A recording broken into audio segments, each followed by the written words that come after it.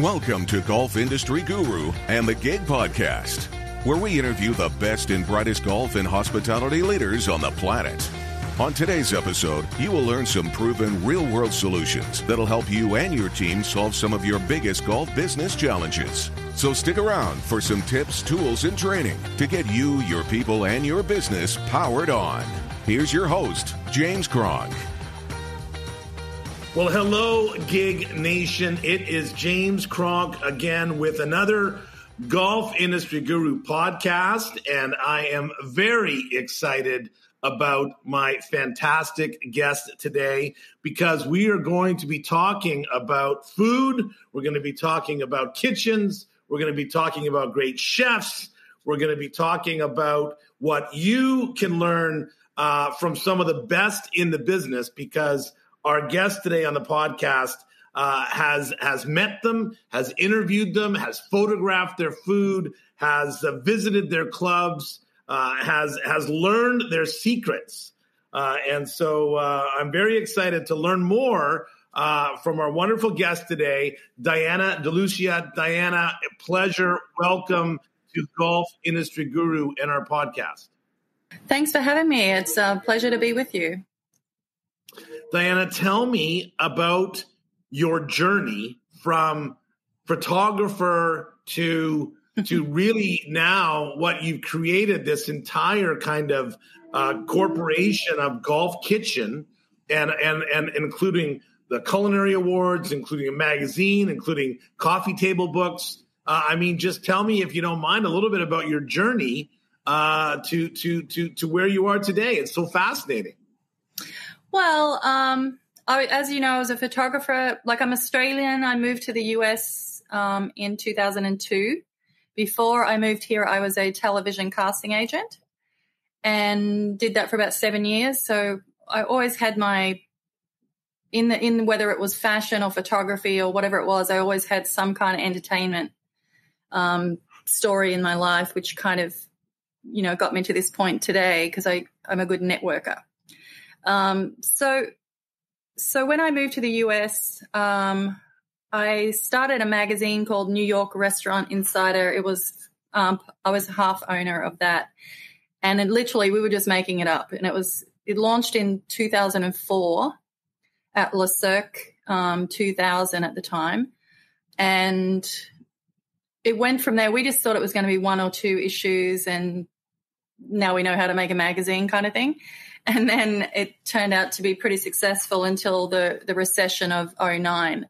Um, and I work with all these amazing chefs. Like I literally was practicing food photography with Thomas Keller, Le Bernardin, and, and, you know, Marcus Samuelsson and Anthony Bourdain, like all of them. It was like my, my, my photography portfolio from the restaurant world is amazingly massive.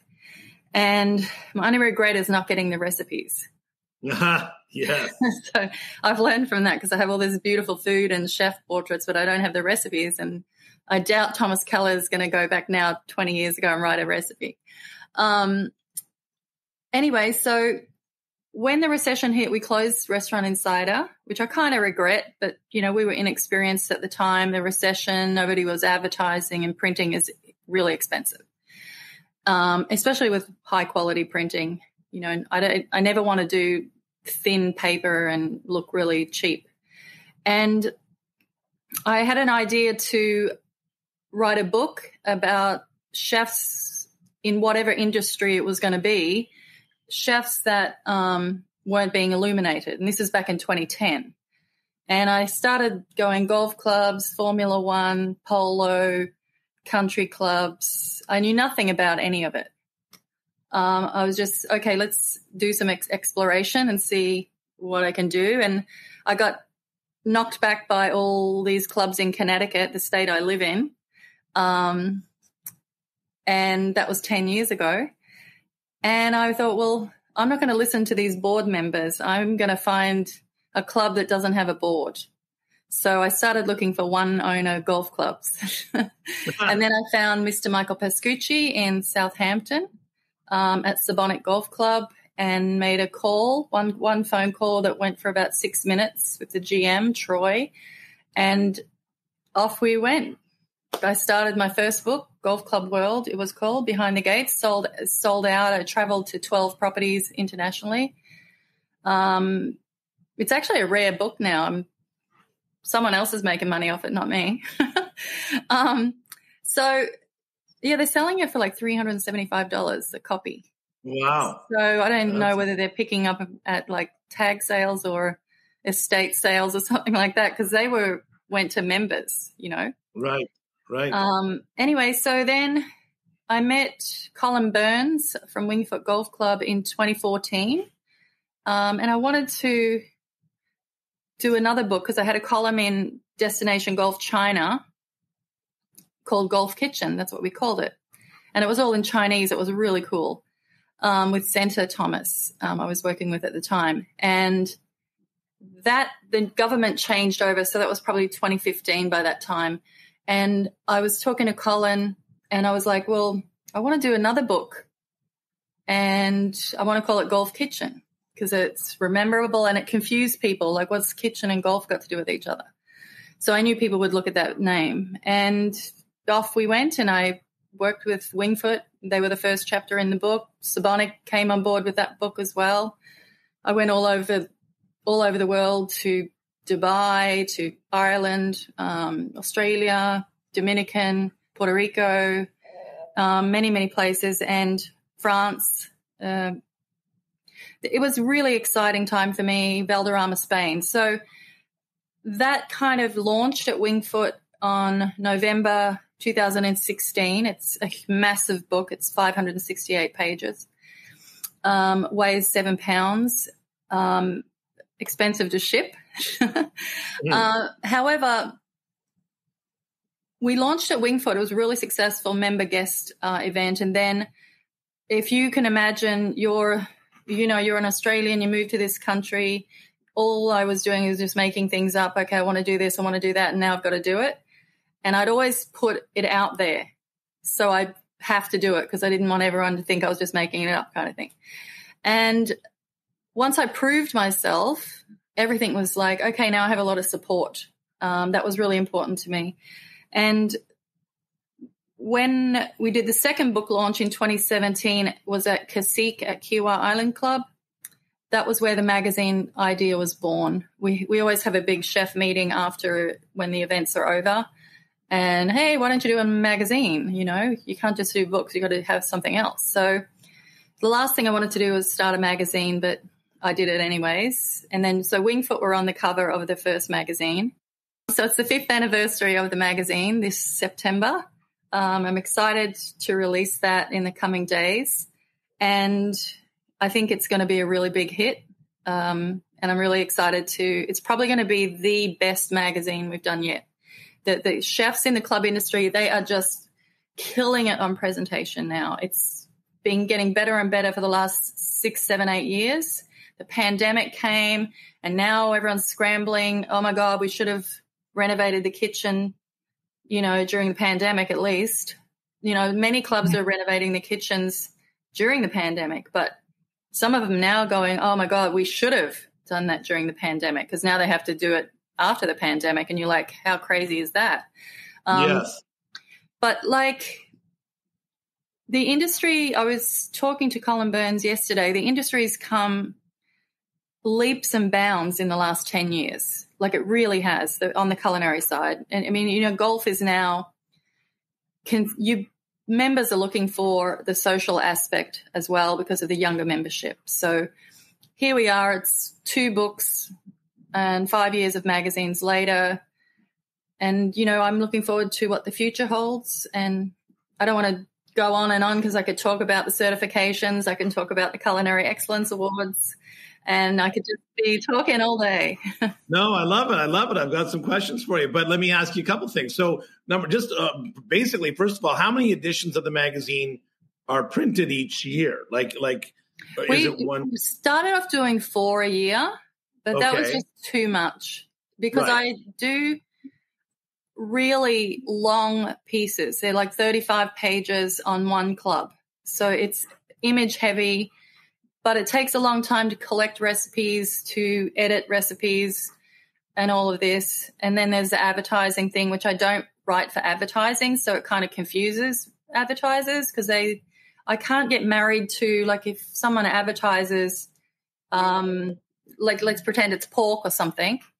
I can't get married to that brand because I want the chef to have the freedom to tell me where he gets his pot belly pigs. Yes, I don't yes. want to be an advertiser tells me, oh, you have to be this brand the whole time. So I kind of that's why I went subscription based. And Yeah. you know, we print.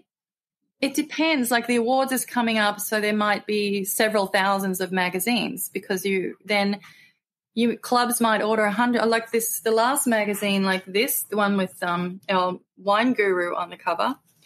Um, that's I'm still getting bulk orders from clubs now. Like, and that came out in March. And I got it. another two orders of 50, 60 magazines, and then you'll get, I want to subscribe for my wine members. So it just, it goes up and down. Like during the pandemic, it was really hard, but we did not skip a printing. But it was, people didn't want paper. Like I know an editor that I, uh, is one of my media partners. She has 15,000 magazines sitting in her garage from when the pandemic hit because all the events were cancelled and they circulate at luxury events. Right. Yes, yes, yes. And if you've ever seen 15,000 magazines, it's a lot. Well, especially if they're old news, that's I would I wouldn't want to see. 15, Well, she can sell them as collector's items. Yeah. So uh, you listed wonderful places and wonderful golf courses, and and you know Colin Burns was one of our guests. In fact, just a few weeks ago on Golf Industry Guru. What a what a brilliant man. Do you have any favorite places that you've been to? Do you have any kind of favorites? I mean, I love how you've turned your passion. Uh, I always love it when I find people that have turned their passion into a job. Uh, I think that's that's that's un, you know that's that's the what we all strive for to try to do. Um, and I also love it. And you know, for me, example, I was uh, speaking about being Australian. I was just in your beautiful home country uh, a little while ago, meeting uh, wonderful people from the club business. So, do you have some favorite places that you've you've you've discovered through your golf kitchen journey? It's really hard to say a favorite for me because I feel like I'm playing But how about let's do it by culture? Sure, sure. Okay, so on all of the journeys and places I've been, I particularly really, really enjoyed Morfontaine and Domaine de Murtoli in Corsica, Morfontaine in France. And those two locations I have never published. Ah, So they will be published once we sort out the recipes. Because I'm really excited to publish those stories, but it's just been really hard trans- getting translation back and Mm. forth. Um, Mhm. That said, those properties are absolutely amazing. And it, it's going to lead up to one of the questions you sent me. So go back to Morfontaine when you get to that question. Um, but I love Valderrama in Spain. Absolutely delightful property. I'm probably one of the only photographers in the world, apart from the golf guys, um, that's climbed every single media tower and had the entire golf course to myself. And I'm a food photographer. Um, t- two days before, I think it was the Spanish Open. wow. Like I literally climbed every single tower. I took photos everywhere, and I'm scared of heights too, so it was a really big deal for me to do that. Right. and right, I did right. it morning and night, morning and night. And I was like, Wow. I've got this whole golf course. Like I know nothing about the game, but the towers are set up for the golf, right? So I was thinking, well, this must be the right place to take these photos. Yeah. So Did, that was you so fun. you say you know nothing about the game? Uh, did you? Was it just golf that kind of ended up kind of uh, taking your call as opposed to you know Formula One or as opposed to yacht clubs or city clubs or different types of clubs? I mean, what was was uh, what was was the golf side of things just kind of happenstance that it ended up becoming Golf Kitchen as opposed to Formula One Kitchen? Um, no, I actually, before I met Sebonack, I actually did some, I spoke to some wealthy people in, in the industry, um, that were even involved in politics at the time. And I said, you know, I, I had a photo shoot at that property at the time, and I was saying, you know, what do you think of this? Golf, yacht clubs, you know, da da da da da. So I chose the golf industry and just started, it was really just doing research because I figured, okay, there's all these rich people uh, can eat anywhere they want to. So the chefs have to have to be good in this industry somewhere. I can find it somewhere. Yeah. And that's what happened. I just went on and I knew if it was going to be in New York or the tri state area, I knew the chef would know who I was at that time because of the magazine and the photography, or I would know someone they had worked with. So I knew I knew right. I was going to be able to pull it off in some way, kind of thing. Right. So then, um, I mean, the chef at Sebonack Golf Club, Anthony Giacoppinello, his background is impeccable. I mean, he, he is so leave ego at the door because that guy has worked for Alain Ducasse in Monaco at the flagship. He's done sta- staging there. Um, his dad is Joe Giacoppinello, who was the CEO of leading hotels of the world. So Anthony was privileged, but at the same time, he you're under more pressure to perform when you have a background like that. So you got mm-hmm. to bring it to the table. And I got to hand it to Michael Pascucci for hiring him because he has he's developed his program there where it's super healthy food. So you can have that golf food, right? That ever you know the and then he's like super fine dining wine dinners and all this. Um, and that's been very successful out there. What you talk about these great chefs and you've obviously you know met with them and you know I, I have a background in the restaurant business and and and know the talent that it takes and the hard work and um, the temperament. I mean there's there's there's being being a chef for anyone that has never been a chef in a restaurant, it's difficult to understand how mm. challenging the the role is um, when you when you understand the the pressure of, of of leading a team and of time and of quality and all that kind of stuff. What Diana in your in your travels and meeting with these kind of talented chefs, are there some traits that you think you could say is consistent among some of these leading chefs, of, really of the of the club industry around the world.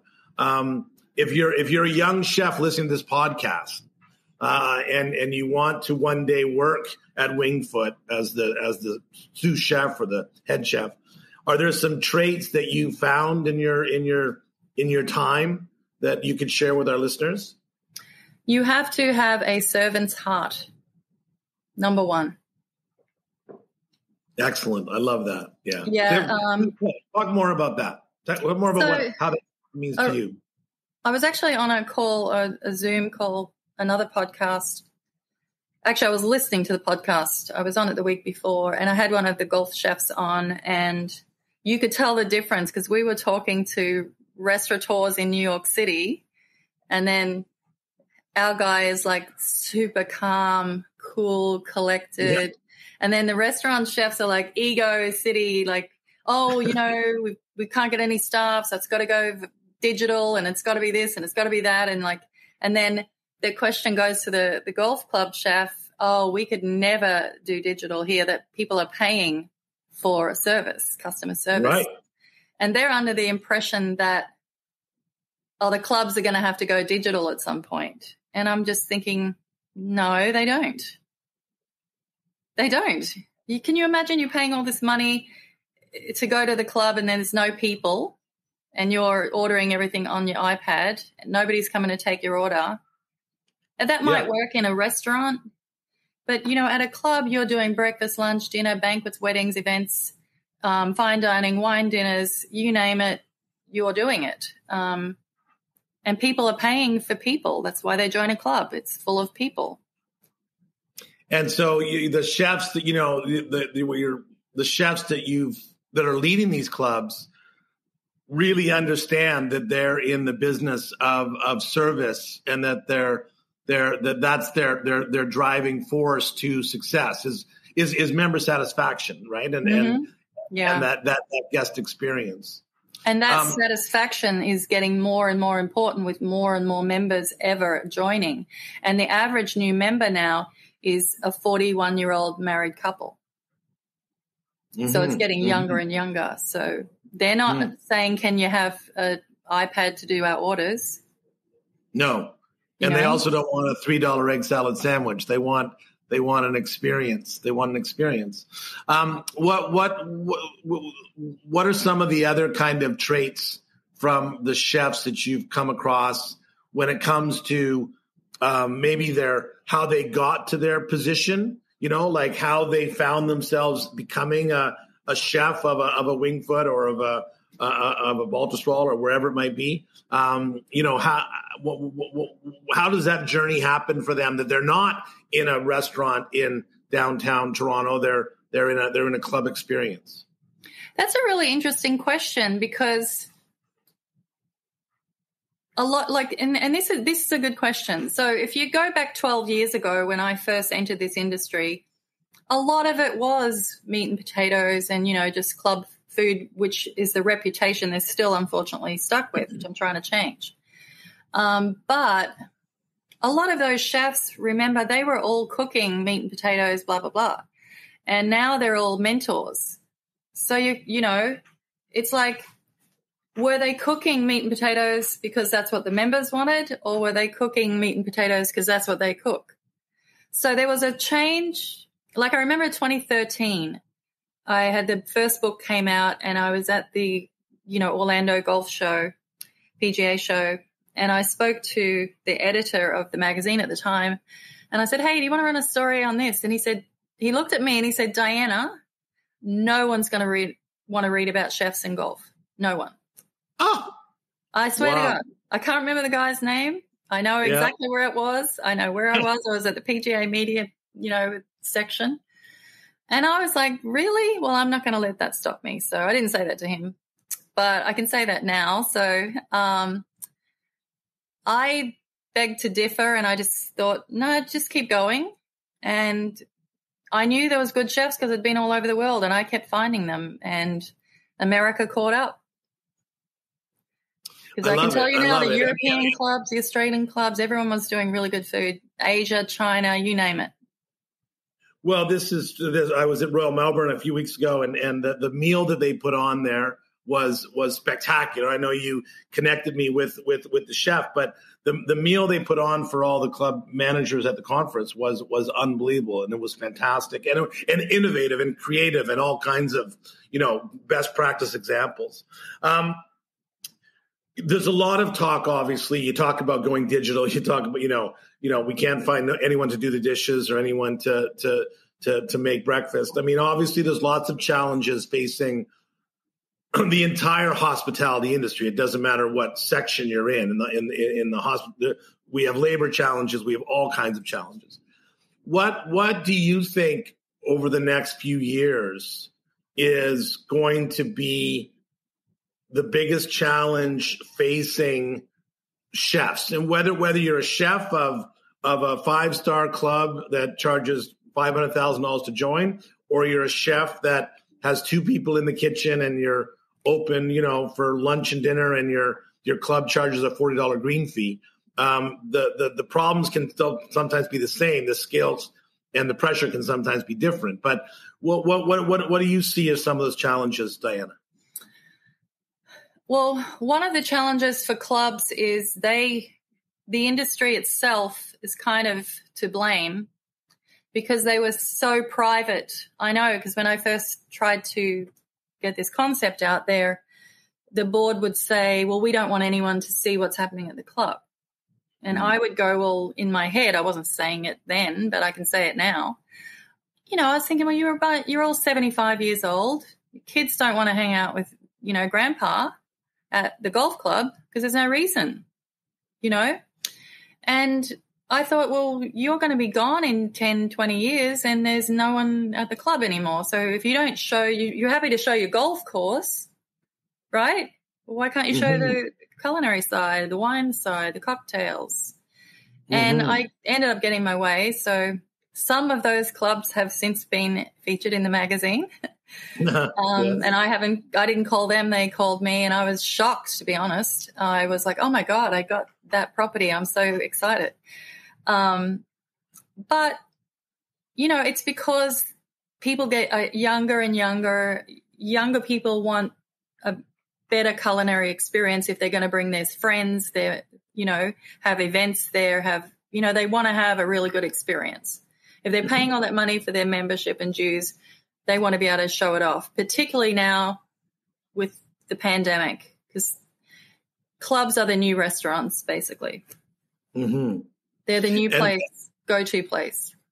And so, so the challenges facing chefs is is adapting their club or getting their club on board to believe in that in that food and beverage, the importance of that food and beverage experience. I it, it's it depends on the ownership and the general manager a lot. Like you you have to have a general manager that embraces the culinary side of things. If you have a general manager that only cares about the golf and and the food is just a afterthought, um, which was the case in a lot of cases, um, or they didn't want the chef to get highlighted, you know, because they wanted to be highlighted or whatever. But it's it's changed now. Now a lot of GMs are pushing their culinary team, and they know they're going to be rewarded for it. Um, you know, yes. They, they've they've understood now that hey, listen, we need to have a kick-ass culinary team, um, and ultimately they're the ones being rewarded in the long run because they're the ones that made that decision. Like Colin, he was one of the first ones. I want to improve the culinary scene in the industry. I want to have, and he got Rye Waddington back then. The first time a restaurant chef back in those days Rye took the job at Wingfoot. He had to adjust, and he did. It did take him a while, but he, he had that culinary prowess and resume, but he also had that servant's heart that I want to make sure all these people are happy. Mm-hmm. And that, mm-hmm. that it's like a combination. Whereas at a restaurant, if you go to a restaurant, you don't like the food or the service is not good, you just don't go back. Mm-hmm. Whereas at a club, if you made a mistake with a dish or something, or a steak or whatever it might be, you have to see that person the next day. Yes. So you you need to have the personality type that how can I make Mr. Jones happy? How can I get him on yeah. my team? And and yes. a lot of chefs that I know that they live for that. Like just was it Monday I was talking to a chef and he said, you know, I want to know I can only improve if they come to me and tell me what they don't like because he says I can't improve if I just get compliments. Yeah, yeah, so true. Well, you have to be open to improvement and, and, be willing and interested in doing it. And you're right. I mean, that's the one of the great benefits of working at a club is that you get to develop relationships with your guests and your customers, and and they and they and to know their favorites and how they like their their coffee and and and how they like their their food and and to and then also to to obviously constantly be trying to find new ways to surprise them and to create new things so that they're not having the same meat and potatoes every day, day in and day out for ever and ever and ever. Do you find that with with in your journey with with with talking to these clubs? Obviously, you, would you agree that there's now more clubs that are that are attracting these high quality chefs to these roles as opposed to you know, great chefs leaving the club industry because it's challenging and frustrating? Like, where's the pendulum on that? Um, unfortunately for the industry, chefs are overworked right now to the point where owners and owners' wives and, you know, get in here, we need help today. that you need to start moving chairs and lifting things and, and stuff like right. that. So there's a lot of that going on. Um, thankfully, a lot of the smaller wealthy clubs they do work together and usually the membership is tight knit with their team. So they'll do they'll really really help their teams succeed during this time to the point where the chefs and the staff will actually put in the extra hours because they know ultimately it's going to work in their favor. But a lot of chefs that are older which is a problem now because you've got all these chefs that are retiring soon but because of that meat and potatoes generation, you don't have any a lot of young chefs up and coming. That's I see this gap. Mm. So I'm trying to feature as many young chefs as I possibly can that have grown in the industry. They they on purposely went to the club industry because someone said when they were 18, you know, oh, you should come and work at Bay Hill because this is a insane place to learn everything about food, you know. Mm-hmm. And those kids took it on, but they knew their pay was going to be way better. They were going to get health insurance and all the benefits, often bonuses, often housing allowances, or, you know, recently I saw one that have a car allowance, like a monthly car allowance. And um, I thought, wow, that's pretty cool because mm-hmm. of cost of gas, right? Of course, yeah, you bet, you bet, you bet. Yeah, because they yeah. don't want to. They if they're going to have to drive forty five minutes day there and back, you may not want to take that job because of gas prices or inflation. So they're very yeah, innovative. Very in, well, and and and you and finding ways to attract, retain, keep staff. I mean, these are these are common things, but I always say they're they're less of a challenge for those clubs that take care of their people, right? If if if you've got a staff retention problem, you've got a people problem, you've got a you've got a human, you know, you've got a management style problem uh, because I always come across great clubs with great leaders and great culture, and they don't have a problem attracting and keeping staff. Uh, they the, the the ones that others do. Um, you know, obviously in, on our in our gig nation, we call it Diana. We've got clubs of all different types and all different sizes, and and not everyone can give a car allowance or can you know pay pay for housing or can attract a five star chef. Um, but but what what do you think uh, if you're a general manager of a of a club of any of any size or shape or type? Um, what are some things that you can do as a general manager to enhance the culinary experience at your club, or or to to uh, motivate or or to to to to engage with your your culinary team and your chef and others to to to create a better culinary experience? That's my challenging question for you. Okay, let's take Addison Reserve, Michael McCarthy as your case study. Okay. Um, are you familiar with Michael? I'm not. Okay, he's probably arguably one of the most successful GMs in the country. Okay. He has a hiring, I'm going to hire the people and let them do their job. I'm not going to get involved, overly involved. I hire the right people and the right people do their job. That's his philosophy. If I let them perform. But there's also things like what young chefs really hunger for is the same thing the restaurant chefs hunger for. It is cultural experiences. I want to, like I say, a restaurant chef is young. He wants to go to stage at Bocuse in in um, France you know, they actually have to pay that for them themselves. Like if you want to go to Bocuse and Stage, you you have to pay for the flights, all your three months accommodation, and you don't get paid. However, they get a huge experience from it. So it's like a college, you know, yes. section yeah. in France or whatever restaurant you're at. And you can have that on your resume forever and it looks damn good.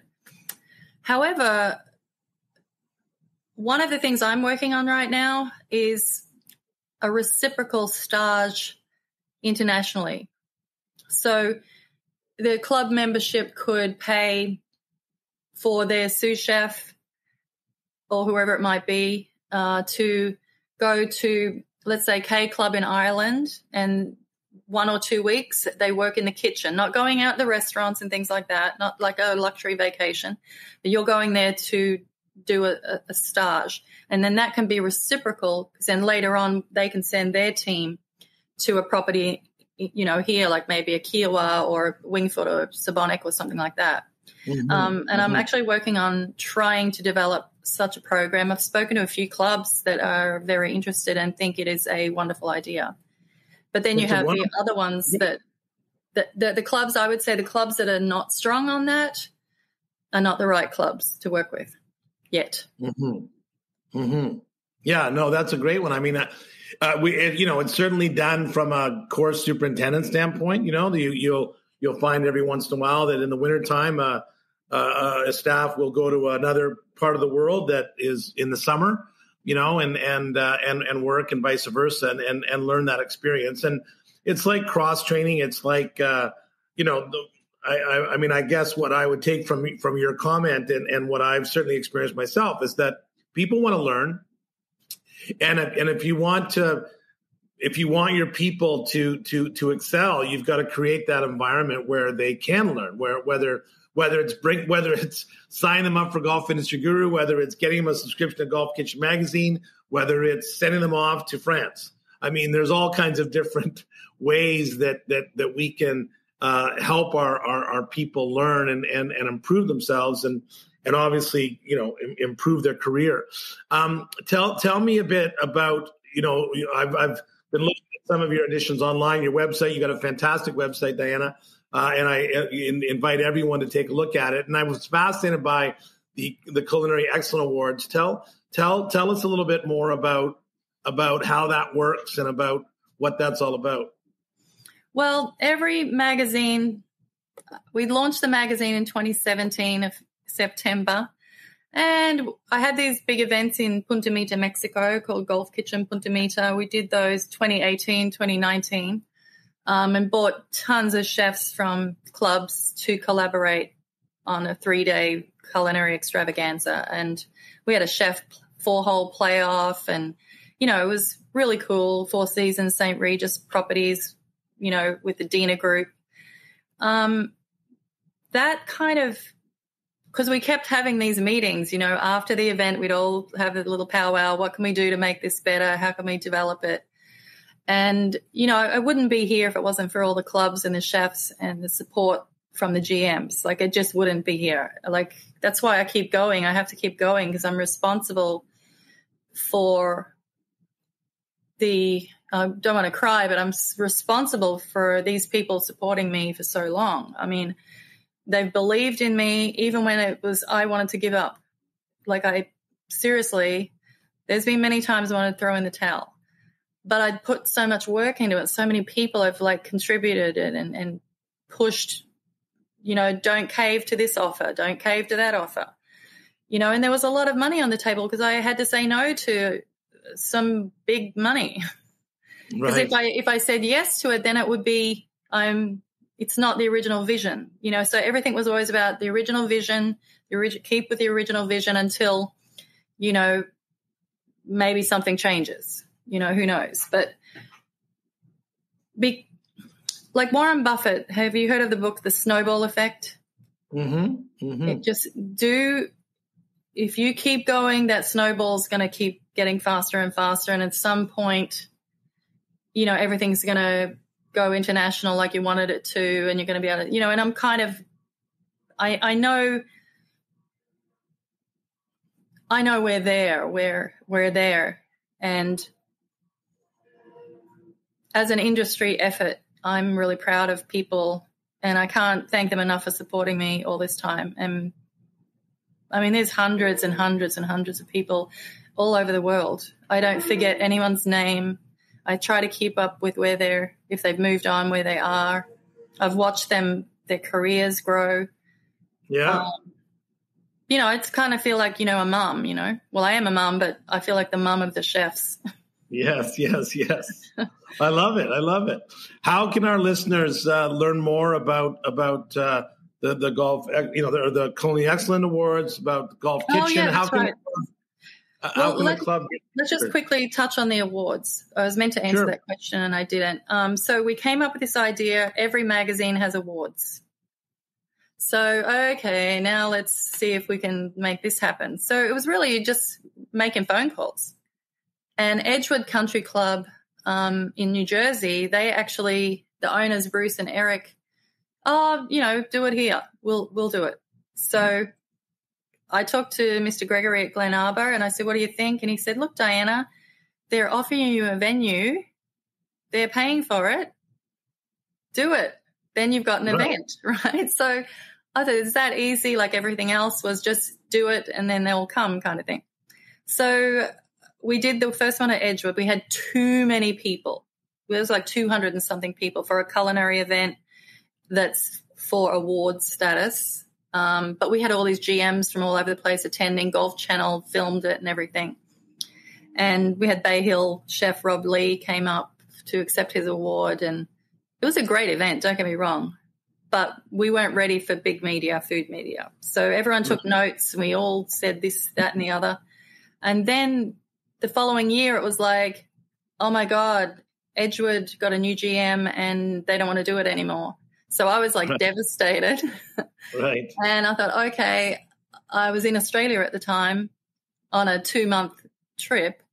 And I was like, oh my God, I don't have a venue for the awards. What am I going to do? And I was like at a complete meltdown. And my sister goes, look, just don't make any decisions now while you're upset. Just sleep on it. Right. And then I thought, okay, I needed to figure out who I was going to call. You know, which Ghostbuster would it be? And Yes. I thought, oh, I sent an email to Mr. Gregory at Glen Arbor, and this was 2019 in January. And he goes, oh, we'll just do it here. Uh, I mean, seriously, just like that. Yeah. And I was just the support that that property has given to me is like a complete blessing. Um, they just have like one of the things about Glen Arbor that differ, and probably a Sebonack as well. They're smaller clubs with a smaller membership, but they mm-hmm. are they all have hearts of gold. It's just you know, people say there's all these rich people playing golf. I said, no, these people are really, really good people. I mean, Yes. they're like the best people I've met in my entire life, pretty much on the support Mhm. level. You know, and you know, everyone gets a bad rap all the time, and I just don't see it. Mm-hmm. No, well, you we us that are in the industry know how wonderful the industry is, and and and people that are not don't understand it. So uh, we we get to live in this little bubble of of uh, you know I I, I've, I that's golf brings everyone together. It makes it's a commonality, right? That's the great benefit of golf is doesn't matter whether you drive a Volkswagen or a Ferrari. Uh, you know, golf brings everyone to the same to the same point. So uh, we're very lucky that way. Um, I love, I love, uh, I, you know, as, I think you're, I'm so glad you stayed true to your vision, Diana, because, um, because the golf industry does, you know, the guy from the, uh, wherever you're at the PGA show didn't know what he was talking about because, um, you, you, you foresaw the importance and value of the culinary experience as it relates to the club experience. And, and I couldn't agree with you more that, um, p- pandemic or no pandemic, there's been a trend in improving the, you know, um, I do consulting work as well. And, and I would, I always say that generally speaking, 80% of the phone calls that I get from general managers seeking some help is about food and beverage in their club Mm. because, because many GMs have become a general manager through the world of golf, maybe through hotels, maybe through accounting.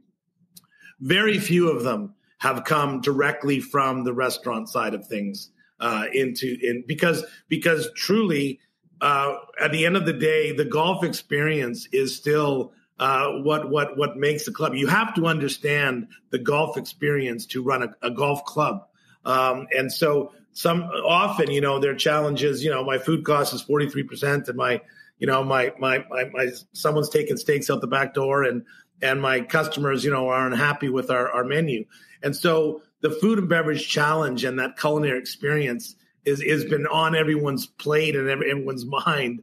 I've I've found for the last decade. So I think you're you're exposing the the skills and the strengths and the creativity and the the style that some of these great chefs are doing. I think just you know rises all boats right from a from a from an experience standpoint. I think it's fantastic. How do our how do our listeners get in touch with you about uh, the magazine, about uh, um, your your your information, about uh, finding more about uh, about Golf Kitchen? What's the best way for them to do that? Um, well, the website is golfkitchen.com. You can follow me on LinkedIn at Diana DeLucia. Um, you can DM me. I'm very, very collaborative. Um, I don't have a recording. Go to then press one, two, three, four, five, six, seven. You can reach me and I will talk to you, or I'll call you back, or I'll email you back. Um, our Instagram is at Golf Kitchen. We're trying to grow that. Um, but LinkedIn is really um, very, very successful for me personally. And I, most of the clubs are on LinkedIn. The GMs are all on LinkedIn. The chefs are all on LinkedIn. Completely underrated, you know, website. I mean, uh, LinkedIn is just brilliant. Um, I know yeah. you're on there a lot. Um, mm-hmm. But anyone can email me, Diana at Golf Kitchen. You can call me. My phone number's on the website and or email me whatever message. I'm very, very collaborative and I like hearing ideas, um, suggestions, anything at all. I mean, the industry, what it really needs is what I really came on this show to say. Um, with a stage program, once we get that off the ground, we're trying to get outside of the golf industry because we need to preach to people outside of the industry that there's this amazing culinary careers because the kids don't know. They still think right. it's old people playing golf. They still think it's hamburgers and hot dogs. Mm. Mm. So you've got to, how do you bring this to the masses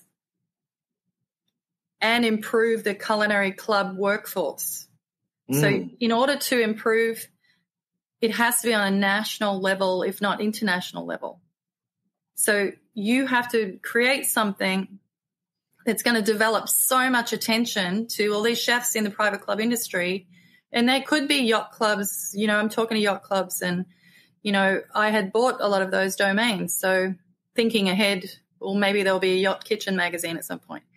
So, mm-hmm. so like you have to improve the workforce in the industry and the restaurant industry get this. I know they're all going digital the ones that are going to succeed is Thomas Keller, Daniel Boulud, all those guys. They're not going anywhere. They're not stopping their customer service. I can tell you now. Mm-hmm. Those fine dining restaurants will always succeed. They're the mini vacation. That's what they are, and they will always be at the top of their game. However, everyone else is we they don't have any staff anymore. Now they're doing digital, this, that, and the other, and they're all stressed out to the max you know, because of the pandemic and what it's done to their, it's decimated the industry and it's not going, it's not going to go customer service for quite some time. It's going to be digital iPad, kind of like you're at the airport, basically. Mm-hmm. Um, so that that's going in the opposite direction, whereas the club industry is going forward on the culinary and the service, and that's what I see. And you know, if we can get outside of the industry involved to bring some chefs on like the Today Show, to get Food Network to pay attention, get any of these big, big networks, mm-hmm. um, news outlets, whatever it might be, um, we can get the word out there to the younger generation. That that's my goal. Well, it's an honorable goal and a and a good goal, and and uh, and I wish you all the best with it, Diana. I really appreciate your time today on our Golf Industry Guru podcast. Uh, I, I, I love Golf Kitchen. I, I, invite all of our listeners to immediately go and uh, LinkedIn you and uh, and and keep track and, and do whatever they can to support you with your goal because um, I couldn't agree more about uh, the opportunity that the club industry has to uh, to to to get exposed to to uh, to the to the culinary world about how great it is. So um, thanks so much, Diana. I really appreciate you coming on to Golf Industry Guru, and uh, look forward to doing things with you again in the future. Thank you. It's been a pleasure, and I appreciate you um, taking part in getting this, you know, the message out there. You got it. Awesome. Thanks. Thanks, you. Thanks everybody for listening. Have a wonderful day. Go uh, go kiss your chef. Thanks for listening to the Gig Podcast. We hope you enjoyed this episode and mostly that you learned a few things that will help you improve your business. Join us next time as we continue to bring you the best and brightest golf and hospitality leaders on the planet. Thanks for listening.